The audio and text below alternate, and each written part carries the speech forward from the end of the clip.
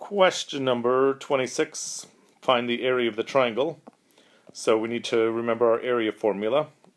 Area of a triangle is base times height divided by 2. Or we could use 1 half times base times height.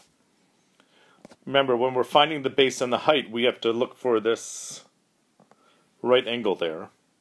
The two pieces connected to that right angle are our base and our height. So our base is 10 centimeters. And our height, remember, is usually going to be a dotted line. Or if you see a dotted line, it's there to show you your height. So our height is that 4.8 centimeters. So we're going to multiply those together and then divide by 2. This 6 centimeters here, that's extra information that we don't need. It's just there to throw you off. And remember, whenever we're finding area, it's always units squared. So centimeters squared, inches squared, something squared.